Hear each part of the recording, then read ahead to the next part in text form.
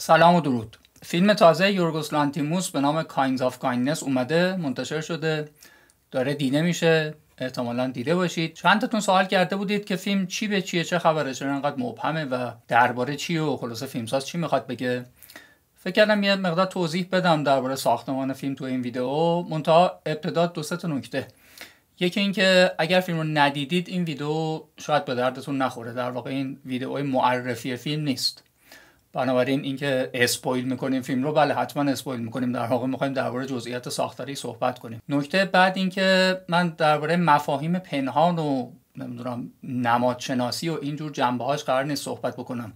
می‌خوام ساختمان فیلم رو یه بار مرور کنم. خیلی فشرده که کمک بکنم که در واقع دعوتتون بکنم به اینکه دوباره به فیلم فکر کنید و اجزایش رو کنار هم دیگه قرار بدید. خودتون به نتیجه برسید که احیانا فیلم چی می‌خواد بگه. و به همین بهانه اجازه بدید ابتدا رو این تاکید بکنیم که یکی از مشکلاتی که تو درک اینجور فیلم ها تو بین بچه ها رایجه اینه که انتظار دارن که فیلمی با این ساختمان و متعلق به این جنس سینما یه چیز خیلی روشنی در نهایت بشه ازش استنباط کرد فاقد هر گونه ابهام. به اصطلاح چیزی که تو دو سه خط قابل بیان باشه. ببینید این جنس فیلم متکیس به سابقه ای در تاریخ سینما که میشه گفت تلفیق فیلم های سوررئالیستی و اصلا کلا بیان سوررئالیستی با سینمای مدرنه که به شدت متکی به بیان ذهنی است. یعنی در واقع ما با یک راوی غیر معتبر سر و کار داریم در فیلم مدرن که زیاد نمیشه روی آنچه که تجربه می‌کنه و آنچه که می‌بینه و آنچه که میشنوه حساب قطعی بکنیم. او دریافت خودش رو داره تبدیل به بخش اصلی ساختمان روایت یک فیلم می‌کنه. فیلمی مثل Kinds of Kindness متکی به اون شکل از بیانه که خب ما سابقه‌ش رو در تاریخ سینما داریم. ما از سگ آندولوسی لوئیس بونوئل نمی‌تونیم انتظار داشته باشیم که تبدیل به فیلم سرراستی بشه و تکلیفش رو تو همه اون جنبه های ابهام آمیزش روشن بکنه. از فیلم های سینمای مدرن این انتظار رو نداریم. از فیلم های دیوید لینچ این انتظار رو نداریم. این فیلم ها هیچ وقت اون دنیای چندگانه و اون شبکه ای رو که می‌سازند از ساختمانی که تو در توست و تقابل ذهنی چند تا شخصیت که البته عملا هم بیشتر با یک شخصیت سر و کار داریم که حتی کاراکترهای دیگه گاهی اوقات بازتابی از اونن ذهنشون بازتابی است از ذهن اون شخصیتی که فیلم رو داره پیش می‌بره. از هیچ کدوم از اینا نمی‌تونیم انتظار سر راست شدن کامل داشته باشیم. فیلم لانتیموس هم در همون دنیا و در همون بستر ساخته شده. اجازه بدید درباره صحبت کنیم. فکر می‌کنم می‌تونه کمک بکنه که از ساختمان سر در بیاریم. بیاد به اسم فیلم فکر بکنید. با اسم فیلم شروع بکنیم. Kinds of Kindness. خب تو همین اسمش داره راستش کل ساختمانش رو روشن می‌کنه. یک کلمه داره تکرار میشه. Kind. خب می‌دونیم kind هم معنی مهربانی و مهرورزی و نیکی کردن میده هم خب معنی نوع. Kind of می‌دونیم. بعد یک جنبه دیگه شه کایند وقتی به کار میره یه کمی سارکستیک هم می‌تونه باشه تو زبان انگلیسی یه کمی تنامیز یه جورایی یه انواعی یه شکلایی. وقتی که kind اونور تکرار میشه تبدیل میشه به kindness اولا اسم فیلم از تکرار تشکیل شده. در نگاه اول به نظر می‌رسه این تکرار واقعا تکراره. یعنی همون kind اونجا رفته تبدیل شده به kindness ولی خب در واقع هیچ شبیه هم نیست معنیشون. تو این شکل قرار kinds تاکید بکنه بر انواع شکل‌های مختلف. همونجور که گفتم تازه kind of می‌تونه خود فرق داشته باشه معناش. kindness هم که قرار طبیعتا معنی متفاوتی داشته باشه. بنابراین خود اسم فیلم جوری ساخته شده که گرچه شباهتی توش هست تکراری توش هست ولی تکراری نیست. از هم جدان. ببینید این بازی تو تمام ساختار فیلم ادامه پیدا می‌کنه. یعنی ساختمان فیلم همین رو تو خودش ادامه میده. یک راهنمای دیگه هم در همون اول وجود داره. فیلم با یک سانگ شروع میشه سویت دریمز که از همون تیتراژ میشنویم. کاملا مسلط بر تصاویر فیلم. موقعی که لوگوی کمپانی ها رو داریم تماشا می‌کنیم فیلم تازه داره شروع میشه. هنوز اولین تصاویر خودش دیده نشده. اون موسیقی رو داریم میشنویم. خب دقت کردید به lyrics ش. من اینکه قطعه مشهوریه شاید قبلا شنیدید ولی دوباره بهش فکر کردید. فیلمساز خب داره با این شروع می‌کنه. Sweet dreams are made of this Who am I to disagree و بقیه بخشاش. ببینید اگر نگاه بکنید به lyrics ش بهش دقت بکنید اون دوگانگی که تو اسم فیلم هست همینجام داره اتفاق میفته داره اشاره می‌کنه به رویاهای شیرین خیالهای شیرین و تاکید می‌کنه بر چی؟ هر کسی دنبال یه چیزیه. بعضیا می‌خوان ازت استفاده کنن بعضیا می‌خوان ازشون استفاده کنی. بعضیا می‌خوان تو رو ابیوز کنن حالا ترجمه کنیم توهین کنن سوء استفاده کنن بهره برداری کنن بعضی هم می‌خوان بهشون توهین بشه ازشون سوء استفاده بشه. ببینید این دولایه رو می‌بینید از همینجا تو این سانگ. خب فیلمساز اصلا مطلع فیلمش اینه دیگه با این شروع کرده. یعنی ببینید باز اینجا هم همون ویژگی که تو اسم فیلم Kinds of Kindness هست تکرار میشه. نحوه استفاده از این رو هم بهش دقت بکنیم. فیلمساز در ابتدا پیش از اینکه وارد دنیا فیلمش بشه این رو مسلط می‌کنه ما میشنویم. ولی بعد ناگهان کات میشه. یهو بریده میشه. بعد از یه مکسی با یه فاصله شنیده میشه. از توی ماشین همون آقایی که اسمش چیه؟ RMF شخصیت مبهم و مرموزی به نام RMF که در همون BMWش داره وارد میشه. ما متوجه میشیم این موسیقی در واقع داشته از توی ماشین شنیده می‌شده. یعنی این آقای RMF داشته به این گوش می‌داده. ببینید حتی اینم دوگانه میشه. یعنی از طرف فیلمساز ما رو جوری با این قطعه آشنا می‌کنه که انگار خودش برای فیلم انتخاب کرده و روی اثر گذاشته. اما یه خورده جلوتر متوجه میشیم که انتخاب کاراکترشه. این تمام اینا رو تو دقایق ابتدایی در نظر بگیرید. فیلم با همین تمهید شروع می‌کنه پیش رفتن خب این شخصیت آرمف هم اسمش هم میاد می‌بینیم که اپیزود اول با تاکید بر مرگ RMF شروع میشه. و بعد اون وقت در ادامه خب فیلم در واقع سه اپیزودیه. سه, سه دفعه خودش رو تعریف می‌کنه. حالا حتی اینم سخته که بگیم دقیقا به اینا میشه گفت اپیزود یا نه به خاطر اینکه خب عناصری هی توش تکرار میشه. ببینید این تکرار شدن توی تمام اون سه اپیزودی که ما در ادامه می‌بینیم تمام ساختمان فیلم متکی بر همین تکرارهای مختلف شخصیت ها موقعیت ها دیالوگ ها و بسیاری از ریزکاری هست خب بخشیش رو حتما بهش دقت کردید. ساختمان فیلم بر همین متکیه و پیگیری همین ها که اون وقت با سه تا رنگ هم متمایز شده. فیلم سه اپیزودش رو به سه رنگ در آورده. یه رنگ هایی توی سه اپیزود غلبه دارن. اپیزود اول زرد اپیزود دوم قرمز و اپیزود آخر آبی. این سه رنگ هم توی تیتراژ روش تاکید میشه هم به شکلهای مختلف و خود اینم باز حتی توی لوگوی فیلم و نوشتن اسم فیلم هم باش بازی شده. خب این آقای RMF که هر دفعه روش تاکید میشه شبیه مکگافینای هیچکاکه چون ما آخرش هم درست نمی‌فهمیم این آدم کیه. در ابتدا به نظر می‌رسه صرفا قرار تبدیل به جسد بشه و در انتها هم زنده میشه. یعنی یه جورایی کل داستان اصلا داستان مردن و زنده شدن این آقای RMF با بازیگری که اصلا دیالوگ هم نداره. تمام مدت ساکته و ما چیزی ازش نمیشنویم. جالبه که لحظه ای که این شخصیت معرفی میشن باز دوباره یه بازی دیگه با اسمش انجام میشه از همون بازی دوگانه. ویوین اول می‌خونه اسمش رو و فکر می‌کنه که بی ام اف بعد ریموند از پشت گوشی بهش میگه که نه آر ام و خود بی او آر هم با هم دوباره اشتباه میشن. ببینید این این تمهید هی یه چیزی رو جای چیز دیگه گرفتن هی تو فیلم داره باش بازی میشه تو دقایق اول برای اینکه ما رو آماده بکنه که این ساختار رو تو فیلم دنبال کنیم. خب در ادامه یک سری چیزها تو فیلم هست که اون وقت بعدا هی تکرار خواهد شد. شخصیتی به نام رابرت که به نظر می‌رسه مرد اصلی داستانه باید با ماشین بکوبه به این RMF به قصد اینکه او رو بکشه ولی جوری بهش می‌زنه که کشته نمیشه. میرن بیمارستان. باز ما انتظار داریم که کسی که ماشین بهش زده شده صدمه جدی دیده باشه ولی می‌بینیم رابرت انتظار می‌رفته که صدمه جدی تری ببینه. ریموند اونو مؤاخذه انگار می‌کنه که چرا به قدر کافی آسیب ندیده. رابرت خودش هم تو بیمارستان داره به پرستار و دکتر اصرار می‌کنه که زخماش رو جدی بگیرن مشکلاتش رو جدی بگیرن. بعدش اشاره میشه به خوندن کتاب آنا کارنینا که تو فیلم باز دوباره تکرار داره. بعد مسئله بچه دار شدن زوج اول رو داریم. یعنی رابرت با همسرش سارا. متوجه میشیم که این زوج بچه ندارن به خاطر اینکه ریموند اجازه نداده. حداقل رابرت اینجوری داره میگه که ریموند اجازه بچه دار شدن بهشون نداده. همیشه یه کاری کرده که بچهشون سخت بشه یا اصلا امکان به وجود اومدن نطفه وجود نداشته باشه. به هر یه مانع بچه دار شدن این زوج بشه. به تدریج که جلو میریم می‌بینیم با اینکه همه چارچوب قصه عادی به نظر می‌رسه یعنی شبیه زندگی واقعی به نظر می‌رسه ولی رابطه رابرت با ریموند رابطه کارمند و رئیس نیست. یه جور رابطه رعیت و ارباب یه جور رابطه بنده و خدا. یه رابطه خداگونه داره. یعنی در واقع ریموند یک جایگاه خداگونه داره. موقعیتی داره که انگار می‌تونه اصلا درباره همه چیز آدم ها تصمیم بگیره. نه فقط درباره روابط کاریشون. کم کم متوجه میشیم ریموند کسی بوده که همسر رابرت رو انتخاب کرده.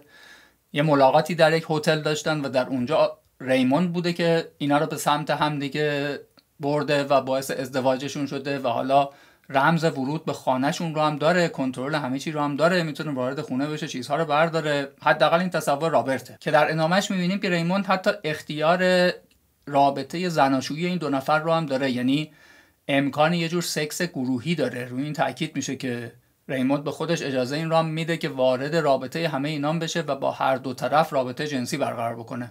همونطور که با ویوین هم ظاهرا داره و ما در یک نمایی که پایان بندی این اپیزوده دیگه مطمئن میشیم که این رابطه وجود داره یک رابطه جنسی چند جانبه. در اپیزود اول با جزئیات درخشان این پیچیدگی موقعیت و اینکه چقدر از آنچه که رابرت بر زبون میاره واقعا رخ داده چقدر تصور ذهنی اونه ساخته میشه. یه نمای مثلا خیلی تاثیرگذاری داره که موقعی که تو رخت خوابش خوابیده و بیدار میشه دستی روی شونشه و ابتدا موقعیت جوری ما احساس می‌کنیم دست کس دیگه است. خود رابرت هم همچین احساسی داره. بعد خب می‌بینه که دست خودشه. ببینید این اینا فشرده اون چیزیه که تو این اپیزود داره شکل می‌گیره. اینکه رابرت چقدر داره از ذهنش فرافکنی می‌کنه و موقعیت ها رو می‌سازه و یه جور پارانویا رو گسترش میده یا اینکه همه اینها واقعی است. ماییم که حسب ظاهر اونچه که می‌بینیم خوشبینیم به موقعیت. در واقع رابرت داره ما کمک می‌کنه که اصل قضیه رو ببینیم پس این ظاهر رو ببینیم. بدونیم که زندگی اون یه زندگی مصنوعی است که زیر نظر ریموند ساخته شده. همه چیز زیر نظر ریمونده و اون هیچ اختیار از خودش نداره. حتی اختیار سکس با همسرش بچه دار شدن زندگی خانوادگی چگونه کار کردنش و حتی حق حیات. خب از یه جایی در این اپیزود سارا می‌ذاره میره. یعنی همسر رابرت می‌ذاره میره. دیگه توی خونه نیست. به نظر می‌رسه که این رفتن هم زیر نظر ریمونده. بعد ما در یک بلان می‌بینیم که رابرت رفته به استخر به یک استخر عمومی و با مردی که به نظر می‌رسه همکار همسرشه یعنی همکار ساراست داره صحبت می‌کنه که سارا کجاست و بعد بهش میگن که این رفته آلمان سوار هواپیما شده و اصلا کلا از کشور خارج شده که اونم باز به نظر می‌رسه که طبق خواسته ریموند اتفاق افتاده. توی خود این اپیزود هم حتی یک چیزایی هی دو بار تکرار میشه. مثلا رابرت یه بار منتظر ملاقات با ریمونده و منشی ریموند بهش عکس بچهش رو نشون میده. بعد دفعه بعد حالا موقعی که رابرت رفته به دیدار یه شخصی به نام اسمیس اونجا می‌بینیم که خودش میره از منشی می‌پرسه که این عکسی که هست عکس بچه شماست که اون بهش میگه عکس نومه. یه سری اتفاقات دیگه هم مثل ملاقاتش با ریموند در پارکینگ تکرار میشه. یه بار سیاسفید می‌بینیم یه بار رنگی و دیالوگات یه جای پیش میره بعد از یه جای دوباره ادامه پیدا می‌کنه. انگار یکیش ما حس می‌کنیم فلاش بکه یا یه جور خیال پردازیه اون یکی شبیه تجسم واقعی و اتفاقی که میفته یا اتفاقی که بعدتر میفته جلوتر از اون اتفاقی که در نسخه سیاسفید دیدیم. تلاش رابرت برای جلب توجه یک زن در هتل هم دو بار به دو شکل تکرار میشه. به این معنا که ما متوجه شدیم که رابرت قبلا با همسرش در همین هتل آشنا شده به خواست ریموند حالا موقعی که زنش گذاشته رفته میاد در همین هتل می‌خواد دوباره با زنی آشنا بشه به همون شیوه به این شیوه که یه بخش از بدنش رو بزنه به یه جا خودش رو آسیب دیده نشون بده و توجه زن رو جلب بکنه. جالبه که اون وقت خود اینم در زمان حال دو بار تکرار میشه. یه بار این کار رو می‌کنه یک زنی بهش بی‌توجهی می‌کنه میره. دفعه دوم موفق میشه توجه زنی رو جلب کنه که می‌فهمیم اسمش ریتاست اما استون داره نقشش رو بازی می‌کنه. خود به خود اینکه در همون هتل با همون تمهید توجه یک زن رو جلب می‌کنه خب از ما دعوت می‌کنه این رو هم دوباره جو جایگزینی در نظر بگیریم چون همسر قبلیش رو هم همینطوری وارد زندگیش کرده. سارا که گذاشته رفته. حالا الان ریتا میاد جایگزین میشه. ببینید نه تنها ریتا حالا به نظر می‌رسه جای همسرش قرار می‌گیره بلکه از نظر ریموند این ریتا مأموریتی را هم که قرار بوده رابرت انجام بده بر عهده گرفته. یعنی اون داره میره با ماشین بکوبه به اون آقای F و اون رو بکشه. جالب هم به این فکر بکنید که این شخصیت مرموز که اسمش F و اسمش با R شروع میشه. حالا سه تا شخصیت اصلی ما ریموند ریتا و رابرت هر سه اسمشون با R شروع میشه. خب ببینید پس وضعیت به این ترتیبه که رابرت سعی کرد زنی به نام ریتا رو جایگزین همسرش بکنه اما اون ریتا پیشا پیش توسط ریموند جایگزین خود رابرت شده. به خاطر اینکه مأموریتی که رابرت انجام نداد رو این زن رفته انجام بده دیگه. با ماشینش کوبیده به اون RMF و اون رو فرستاده بیمارستان. ضمن متوجه میشیم که اون راکت هم اون راکت تنیس هم منتقل شده به خونه ریتا. متوجه میشیم کتاب آنا کارنینا رو هم اون قبلا خونده. ببین همه اینا تکراره دیگه. تکرار همه اون چیزهایی که رابرت انجام داده بود. همه اینا در مورد این زن تکرار شده. حالا از موقعی که رابرت متوجه این میشه رابرت شروع می‌کنه این چرخه رو برعکس کردن یعنی یه جوری مقابل اراده ریموند ایستادن. ابتدا ریتا ازش درخواست می‌کنه که ببردش دستشویی کمکش می‌کنه توی خود بیمارستان. بعد در همون بیمارستان میره یک پرستار مرد رو صدا می‌کنه و بهش میگه که خودشو ببره دستشویی. و موقعی که اون پرستار مرد رابرت رو می‌بره دستشویی رابرت در دستشویی هویتش رو عوض می‌کنه یعنی لباسای اون پرستار مرد رو برتم می‌کنه. ببینید خودش حالا جایگزین پرستار شد. و بعد در جایگاه پرستار میره سراغ RMF که در بیمارستان بستری است و میره کار ناتمامش رو انجام بده. یعنی میره که این دفعه اون بدن رو بندازه کف پارکینگ و با ماشین از روش رد بشه و بکشه آقای RMF رو معمولیتش رو به نتیجه برسونه. این در واقع تلاش برای جایگزین ریتا شدن دیگه. یعنی ریتا استخدام شده بود این کار رو بکنه. حالا رابرت می‌خواد این کار رو بکنه برای اینکه شایستگیش رو در واقع به ریمون نشون بده. و بنابراین اپیزود با ظاهرا موفقیت رابرت در بازپسگیری هویت خودش به پایان می‌رسه. گرچه خب خودش رو جایگزین یک زن کرده همون زنی که اسمش ریتاست و در پایان هم اون فرض وجود رابطه جنسی گروهی تایید میشه به خاطر اینکه در یک نمای سه نفره ما می‌بینیم که اون بین ویویان و ریموند. خب تیتراژ نهایی اینجا با رنگ زرد میاد. رنگی که توی این اپیزود زیاد باش کار میشه. توی اپیزود روی چیزای زرد رنگ تاکید میشه. آب پرتغالی که سارا اول صبح می‌گیره بعد اون کلا کاسکت مسابقه که رنگش زرده و اصلا خود رابرت که درباره رنگ زرد و مفهومش صحبت می‌کنه. میگه رنگ زرد نشانه جوانیه و بعد کات به نمای درشت زرده تخم مرغ. رنگ زرد هی توش تکرار میشه تیتراژ پایانی هم زرده و در واقع این اپیزود با رنگ زرد پیش میره. حالا وقتی میریم به اپیزود دوم می‌بینیم که همون بازیگر اینجا داره نقش پلیسی رو بازی می‌کنه به نام دنیل. درسته؟ تبدیل به یک پلیس شده. خب از همون ابتدا می‌بینیم که این با اینکه تغییر هویت داد از اون کارمند یه خورده دست و پا تبدیل به یک پلیس شده مشکل قبلی باقی است. یعنی همسرش گم شده. ببینید تو اپیزود قبلی همسرش نبود رفته بود. اینجا هم همسرش نیست. مسئله گم شدن همسر باقی است از همون اول می‌فهمیم که میگه زنی به نام لیز که همسرش نیست. معلوم نیست اصلا کجاست. خیلی زود به شکل غیر منتظره این زن پیدا میشه.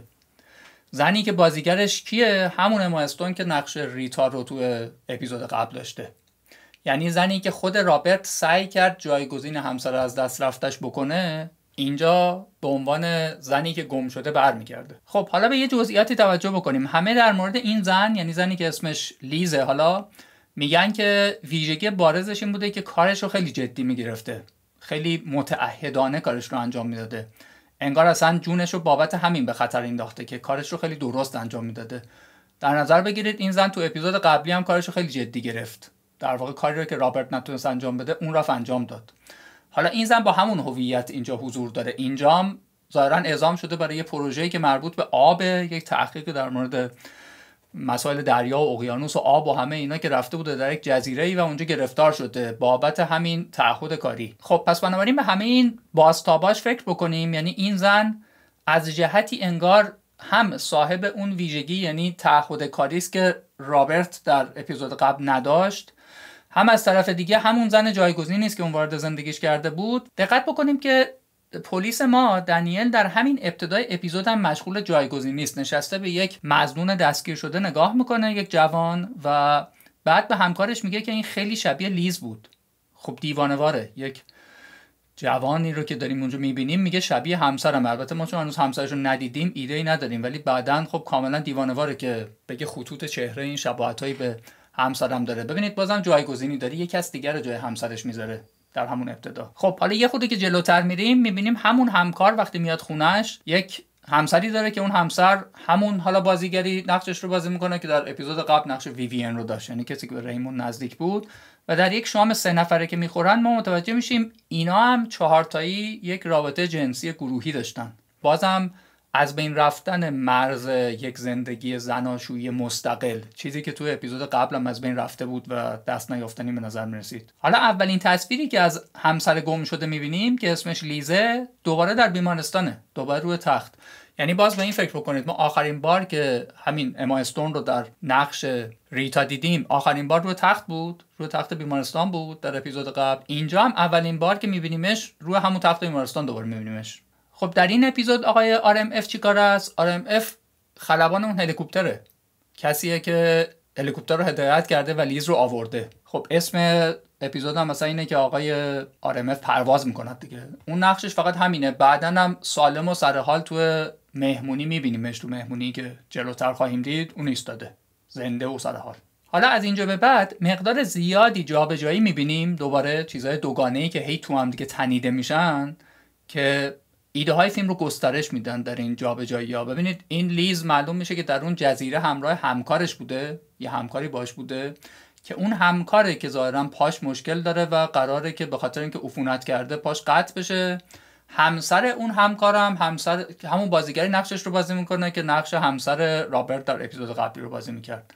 مسئله پای عفونی او و قطع شدن احتمالی پاش چیزی است که بعدا در این اپیزود تبدیل میشه به اینکه حالا دنیل یعنی پلیس داستان طبق اون از خود لیز درخواست می‌کنه که پاشو قطع کنه. بهش میگه که پاتو ببر.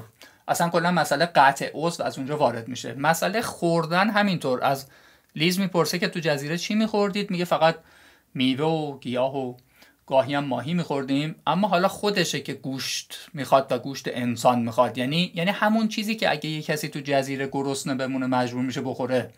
اگه کسی در یک جزیره هیچی گیرش نیاد اصلا در یک موقعیتی هیچ غذایی نداشته باشه خب ممکنه به آدمخوری رو بیاره. اون چیزی که تو بعضی از گزارش واقعی هم خوندیم. حالا دنیل داره این رو نسبت میده به همسرش. یعنی از اون درخواست می‌کنه که به اون قطعه های بدن انسان بده بخوره. به جای اینکه همونجور که اون گفته خودش گیاه خاری کرده تو اون مدت. حالا از اینجا به بعد کم کم می‌بینیم دنیل به طور کلی معتقده که این زن زنش نیست. لیز همسرش نیست و یک زن دیگه است. باز هم با ایده های جایگزین. مثلا به این اشاره می‌کنه که تو ماشین ازش خواستم که آهنگ محبوب من رو بذار ولی یه آهنگ دیگر رو گذاشت. ببینید باز یه چیزی به جای چیز دیگر. حالا در این اپیزود ریموند پدره. دقت بکنیم بازیگر که نقش ریموند رو بازی می‌کرد ویلم دافو در اپیزود قبلی اینجا نقش پدر لیز رو داره. یعنی کماکان اون جایگاه پدرگونه خداگونه اون جایگاه حاکمیتش همچنان باقی است. و RMF هم که گفتیم حواسمون باشه که اینجا نقش معکوس پیدا کرده منجی زنه. ببینید در واقع خلبان اون هلیکوپتر کسیه که رفته لیز رو آورده. زندش کرده به یک معنا چون اگر نمی‌رفت اون می‌تونست اون جزیره بمیره. مسئله مرگ و زندگی و رابطه ای که این آدمی که نقشش آرمف با این زن داره نکته اصلی فیلمه. مرتب با این اینکه کی می‌تونه باعث زنده شدن کی بشه و کی می‌تونه باعث مرگ اون یکی بشه تو فیلم هی گردش داریم دور این ماجرا. از طرف دیگه مسئله بچه دار شدن. چیزی که تو اپیزود قبلی فهمیدیم رابرت مدعی بودش که ریموند نمی‌ذاره اینا بچه دار بشن. اینجا دوباره مسئله است. لیز به محض اینکه وارد میشه میگه بارداره.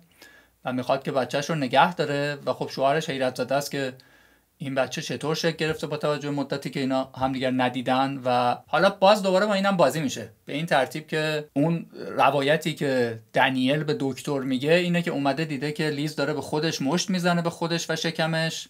در حالی که خب اون وقتی میره پیش دکتر معلوم میشه که بچهش سخت شده. یعنی باز هم اینا امکان بچه دار شدن ندارن. باز هم نمی‌تونن بچه دار بشن و بچهشون از دست میدن. تا در نهایت این اپیزود به جایی می‌رسه که این مرد پلیس داستان از زنش می‌خواد که خونه رو ترک کنه از خونه بره بیرون. به لیز میگه خونه رو ترک کن. خب یادمون باشه که در اپیزود سوم حالا ماجرا از اینجا شروع میشه که این زن از خونش رفته.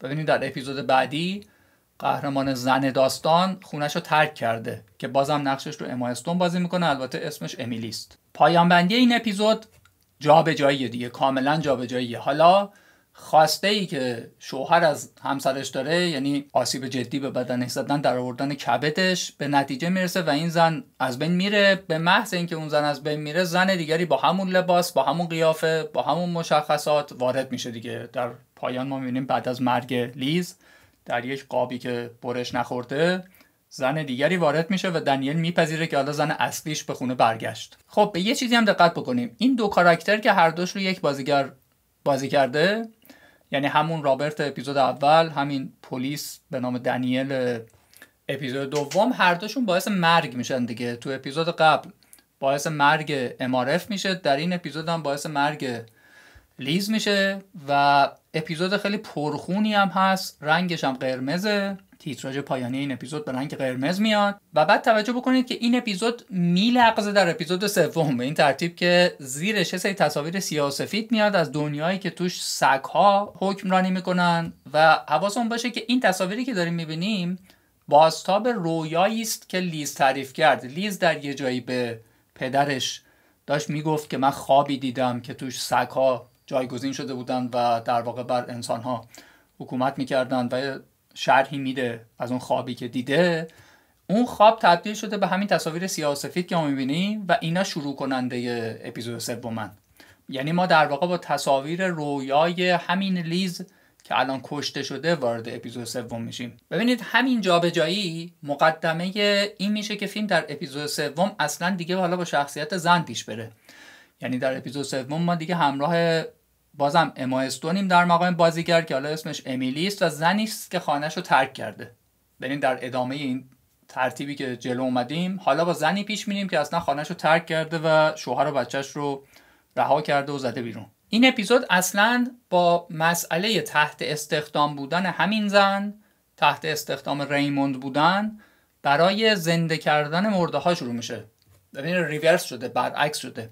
یعنی اگه اپیزود اول ریموند در پی این بود که اون RMF کشته بشه حالا مأموریت این اپیزود زنده کردن RMF ما در واقع داریم همچین داستانی رو دنبال می‌کنیم. اصلا اپیزود آخر درباره تلاش برای زنده کردن مرده هاست. بازیگر نقش لیز حالا تبدیل شده به زنی به نام امیلی که با همکاری یه نفر با همکاری یک مرد که اون مرد رو هم حالا همون مردی بازی می‌کنه که در دو اپیزود قبلی حضور داشت. با همدیگه دارن میرن برای اینکه زنی رو پیدا بکنن که اون زن می‌تونه منجی باشه اون زن می‌تونه نجات بخش باشه اون زن می‌تونه مرده ها رو زنده بکنه.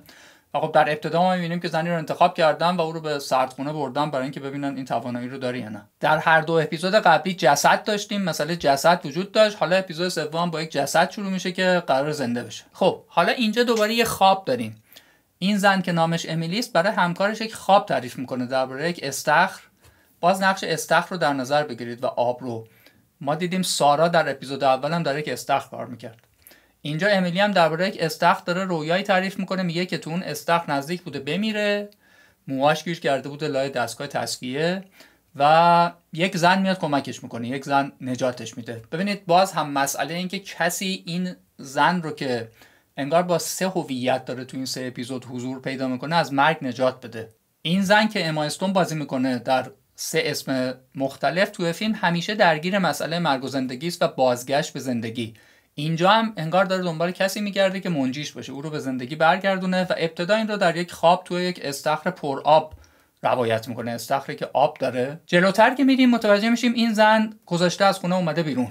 همونجور که گفتیم. به دستور کی ریموند ازش خواسته و همکارانش.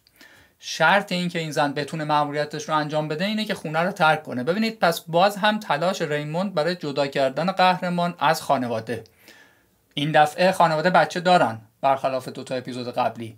ولی ریموند تقاضاش و دستورش باز دوباره اینه که این ارتباط قطع بشه. شوهر و بچهش رو رها بکنه و با شوهرش هم نخواب ارتباط جنسی نداشته باشن. بازم ریموند داره جلو ارتباط جنسی رو می‌گیره و به جاش خودش در جایگاه کسی قرار می‌گیره که اجازه این ارتباط رو داره. خب پس position ی که در اپیزود اول داشتیم اینجا به کل دگرگون شده. یعنی ریموند همون درخواستا رو داره. ریموند بازم می‌خواد مانع تشکیل یک خانواده بشه و خودش جایگاه پدرگونه و خداگونه و صاحب کار و اعزام کننده مأموریت و همه چی رو خودش داشته باشه.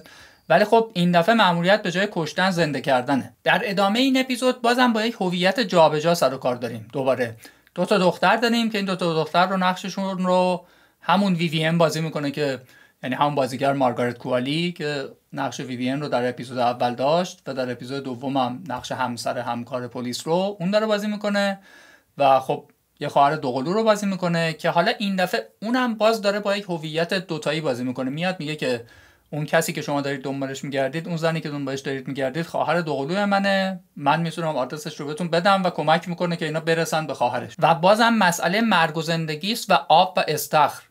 این دختر تعریف می‌کنه که یه بار در یک استخر خالی پریده اما نمرده. باز هم نمردن. بعد از اتفاقی که خب انتظار داریم باعث مرگ بشه سقوط در یک استخر خالی. و خواهرش کسی است که در رویای امیلی شیرجه زده در همین استخر و باعث نجات امیلی شده. یک عنصر غالب در این اپیزود آب دیگه مسئله آب. هم با استخر سر و کار داریم. استخر پر استخر خالی. استخری که یه خواهر تو خشک شیرجه زده و خواهر دیگه تو استخر پراب شیرجه زده. از طرف دیگه کل دستگاه و بساتی که ریموند را انداخته که اون احیا کردن و زندگی بخشیدن رو داره با آب پیش می‌بره. می‌بینیم اونجا همه دارن با آب کار می‌کنن و باز یادمون نره که استخر در اپیزود اول هم نقش داشت یعنی این زن یه ارتباطی با آب در اپیزود اول هم داشت. و همچنین یادمون نره که اون وقت امایستون در نقش لیست تو اپیزود دوم هم رفته بود در یک جزیره وسط اقیانوس و اونجا هم یه پروژه تحقیقاتی که به آب مربوط بود و اقیانوس و دنیا زیر آب. خب در نهایت تو این اپیزود امیلی موفق میشه. یعنی امیلی موفق میشه زن درست رو پیدا کنه خواهر درست رو پیدا می‌کنه بعد از مرگ اون یکی خواهر به خواهر اصلی می‌رسه و اون خواهر که دامپزشکه و ابتدا یک سگی رو پانسمانش می‌کنه همون زن میاد و واقعا باعث میشه که یک مرده زنده بشه. خب اون مرده کیه؟ همون RMF به همون کسی که اپیزود اول قرار بود موجب مرگ او بشه یعنی به مرگ او برسه و خط بشه حالا اینجا زندگی بهش برمیگرده و سر حال بلند میشه از سر جاش. امیلی بنابراین میاد یک رقصی می‌کنه که در واقع نشانه خوشحالیش از اینه که مأموریت به نتیجه رسید. موفق شد. تونست کاری رو که ریموند ازش می‌خواست انجام بده. خب حالا به چرخه ای که فیلم اینجا طی می‌کنه دقت بکنید. امیلی مأموریت رو به نتیجه رسونده.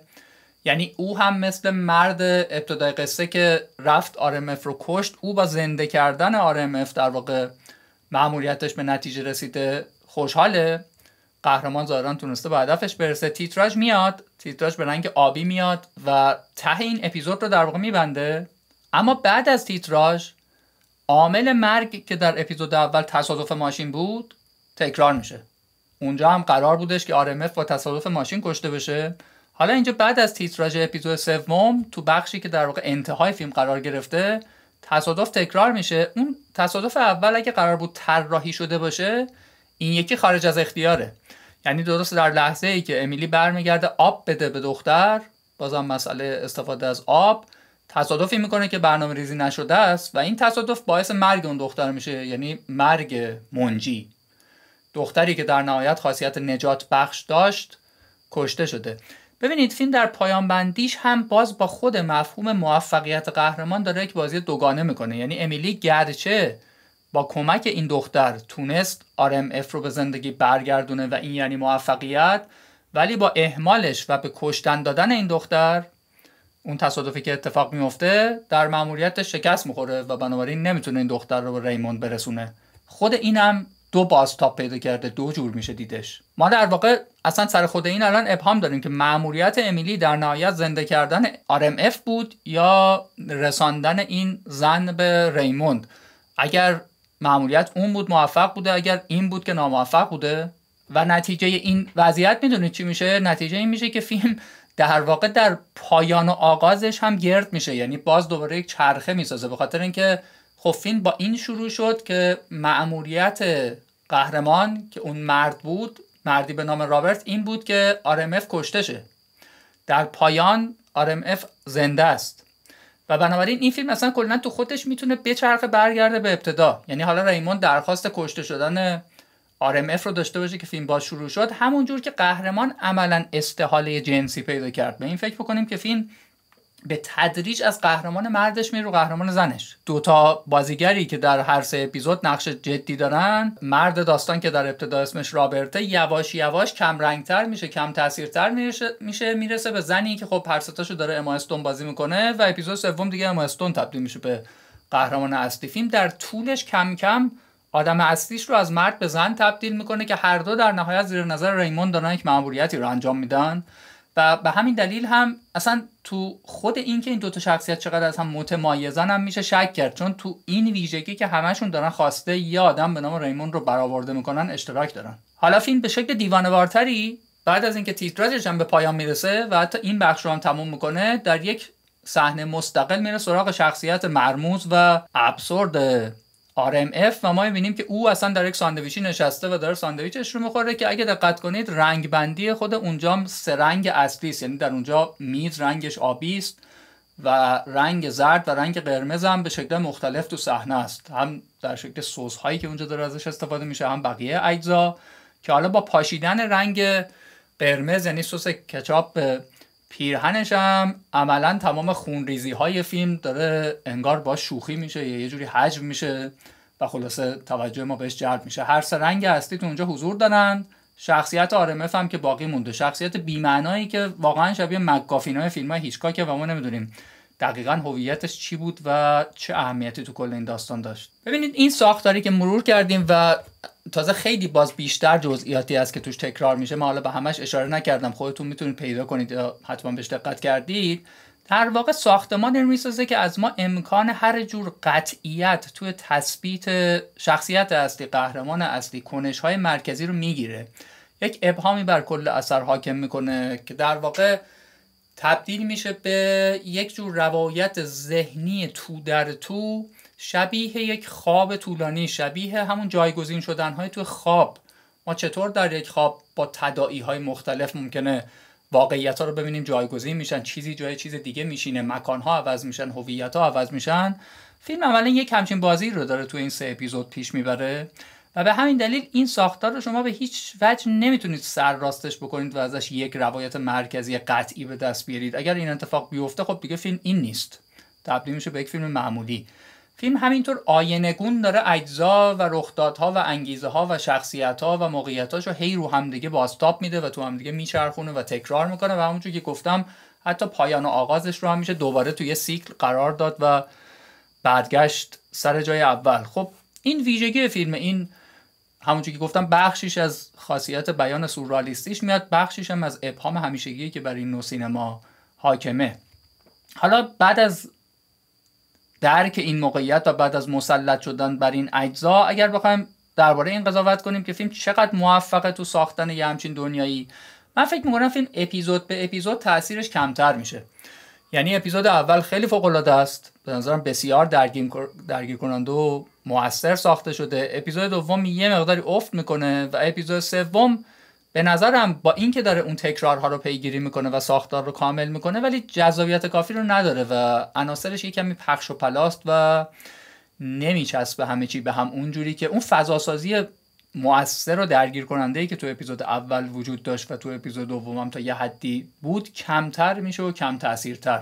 اگر اپیزود سوم می‌تونست فارغ از این تکرارها جذابتر باشه برانگیزاننده تر باشه فیلم شاید تو پایان بندیش موفق تر بود گرچه ایده های پایانی باز بسیار دیدنی ان.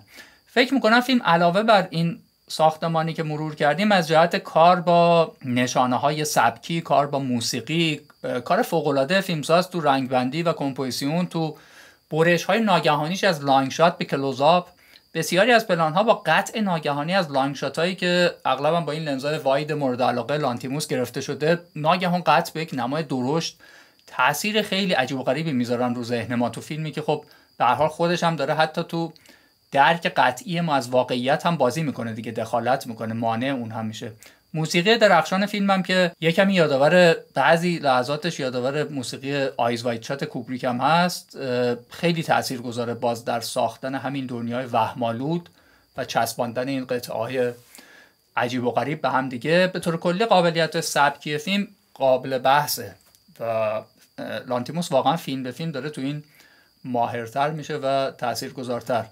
در مجموع فکر می‌کنم فیلم فیلم درخشانی نیست. تبدیل نشده به یکی از بهترین فیلم های لانتیموس. اما پر از سکانس های به یاد ماندنی است یعنی لحظاتی که یه دفعه به اوج می‌رسه و اون کاری رو که می‌خواد انجام بده با موفقیت پیش می‌بره و از اینا مهمتر اگر این نوع سینما دوست داریم سینمایی که خب در طول سال نمونه زیاد تولید نمیشه و ویژه چند فیلم سازه که لانتیموس هم بالاخره یکی از سرآمداشه به هر حال این ساختمان قابل مطالعه است. این ساختمان توش ریزکاری هنوز میشه پیدا کرد. همین جزئیاتی که گفتم رو می‌تونید بیشتر پیگیری بکنید و تو فیلم نمونه‌ای ازش به دست بیارید. نکته ای که در ابتدا گفتم حالا دوباره تکرار بکنم. تو این جنس فیلم اگر اصرار بر رفع ابهام و پیدا کردن یک اصل قطعی و یا اصلا رفتن سراغ نمادشناسی و اینکه فیلم در پس همه اینا می‌خواد چی بگه و هر چیزی سمبل چیه بریم فیلم رو کشتیم فیلم رو از بین بردیم.